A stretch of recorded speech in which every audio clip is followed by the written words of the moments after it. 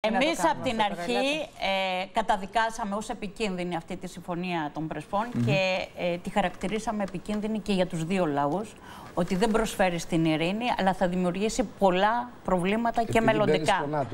Ε, γιατί όμως, Γιατί; κοιτάξτε, ε, και βλέπετε ότι αυτό ο, το λόγο τον κρύβουν πάρα πολύ καλά παρά την αντιπαράθεση που έχει ο ΣΥΡΙΖΑ με τη Νέα Δημοκρατία για τη Συμφωνία των Πρεσπών. Τι κρύβουν, κρύβουν ότι είναι μια συμφωνία που την έγραψε το ΝΑΤΟ για να εξυπηρετήσει τα συμφέροντά τους στην περιοχή των Βαλκανιών.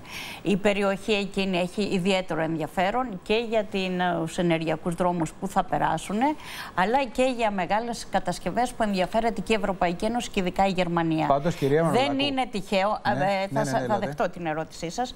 Άρα βλέπετε ότι όχι μόνο κρύβουν αυτό, αλλά παρόλο ότι η Νέα Δημοκρατία το καταψήφισε, δεν λέει λέξη, αντίθετα το χαρακτηρίζει ως μη αναστρέψιμο, ότι γέγονε γέγονε, άρα θα πάει στην υλοποίηση. Πάντως- Και το πιο επικίνδυνο είναι αυτό που λέει ο ΣΥΡΙΖΑ, ότι εγώ αυτή την ε, συμφωνία θα τη χρησιμοποιήσω σαν μοντέλο για το Κυπριακό και για το Αιγαίο.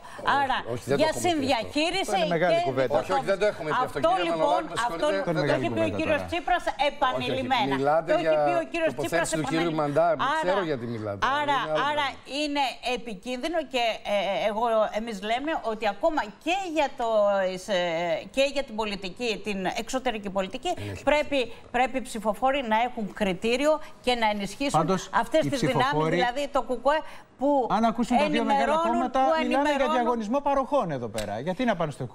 Ναι. Α, ε, πάντα, πάντα προεκλογικά Ναι. γίνεται ε, ανταγωνισμός, όπως τον λέτε, παροχών και λόγια ε, χωρίς αντίκρισμα. ε, Ίσως και να έχουνε, δεν που- ξέρω, άμα Που δεν τα δούμε. μέσα, μέσα από τη ζωή τους και την πείρα τους μπορούν να κρίνουν. Ναι.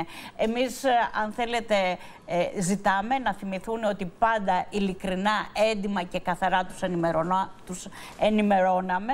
Μαχητικά ήμασταν πάντα μπροστά σε όλους τους αγώνες για τα συμφέροντα του λαού και επειδή η επομένη των εκλογών ξέρουμε τι μας περιμένει, η αντιλαϊκή πολιτική θα συνεχιστεί ακόμα πιο έντονα, άρα ποιον θα έχουν στήριγμα για να διεκδικεί το δίκαιο του λαού μέσα και έξω από τη Βουλή, το ΚΚΕ.